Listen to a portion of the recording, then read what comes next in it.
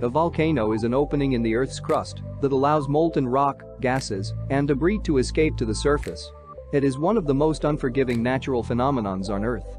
If you were to fall into its magma-filled center, your body would quickly bubble up and disappear without a trace. So if they're so good at getting rid of things, why aren't we using them to get rid of our garbage?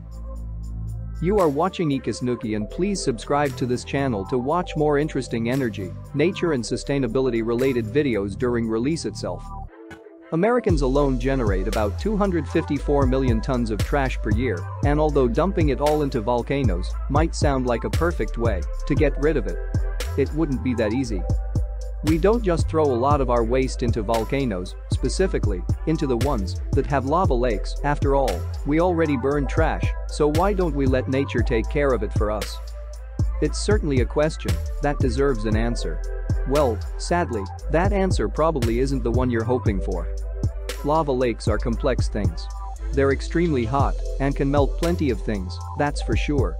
However, they can't melt everything, and humanity has invented plenty of materials that would simply float atop the surface. Secondly, lava lakes aren't infinitely deep. All that melted trash has to go somewhere, and although some would disappear in plumes of smoke and vapor, the type that would be incredibly harmful to breathe in, much would be subsumed within the lava lake. The rubbish wouldn't simply sink into an infinite oblivion. As frightening as lava lakes are, they still have a finite volume, and it's often on the move up and out of the vent. This means that the polluting remnants would erupt out into the surrounding landscape, which would contaminate the soil, or they would be jettisoned skywards in a fire fountain, meaning the hazardous lava droplets that scatter and splatter everywhere would now be not only scorching hot, but toxic. Worst of all, lava lakes are often incredibly unstable.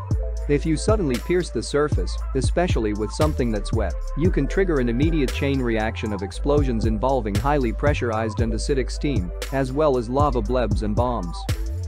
In 2002, a group of Ethiopian researchers threw a 30-kilogram bag of trash into a volcano, and the results were explosive. Lava lakes are unstable, so if you pierce their surfaces with something cold, like trash, you'll trigger a chain reaction of explosions involving pressurized and acidic steam, so can you imagine how big those explosions would be if you threw an entire nation's trash in there? Suffice to say, dumping trash into lava lakes would never be a job you could get health insurance for. Lastly, lava lakes are rare. Most volcanoes don't have them, and right now, only about 1500 potentially active volcanoes exist around the world. Not all volcanoes are cooperative in dumping waste. The ideal trash incinerator would be a slow erupting volcano that gradually spews lava out onto the surface of the earth, like the volcanoes in Hawaii, called shield volcanoes. But the majority of volcanoes on Earth are stratovolcanoes which occasionally have lava flows like Kilauea, but also have the unfortunate tendency to explode when the pressure of hot gas and magma inside the volcano gets to be too much. It's unlikely that somewhere like Hawaii would be happy to take on billions of tons of the planet's rubbish every year, especially considering it's not a great way of disposing of trash in the first place. Even if it did, the shipping distance would increase the carbon footprint of the waste disposal by magnitudes, so not only would we be massively polluting the local environment, we'd be giving climate change a huge helping hand too.